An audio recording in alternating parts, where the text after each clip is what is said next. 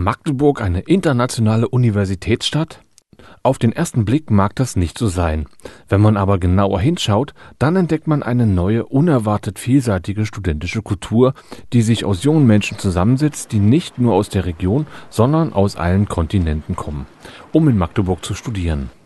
In der Universitätsbibliothek öffnete eine Ausstellung ihre Pforten, die sich dem Thema annähert. Mir und uns waren zwei Sachen wichtig. Einmal zu zeigen, dass Magdeburg mittlerweile eine internationale Plattform für Studenten aus aller Welt geworden ist und dass die Magdeburger eine ungeheure Zahl von Studenten aus aller Herren Länder zu Besuch haben. Was heißt es für junge Menschen, hier zu studieren und insbesondere für ausländische Studenten? Was hat sie bewogen, die Stadt an der Elbe zum Studienort zu wählen?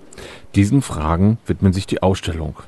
Dokumentiert haben wir also 30 Studenten aus 17 Nationen und ähm, haben dabei sehr, sehr nette junge Menschen kennengelernt, die zu 70 Prozent nicht aus Magdeburg kamen. Interessant war es, dass die Studenten sehr schnell Kontakt hier in Magdeburg gefunden haben.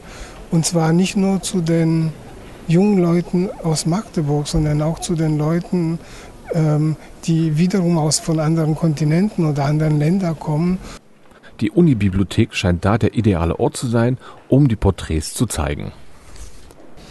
Und nicht zuletzt war es mir wichtig, äh, diese Porträts, die so pur gestaltet sind, in diesem Fall fast engelsgleich und ikonografisch, in diesem besonderen Raum.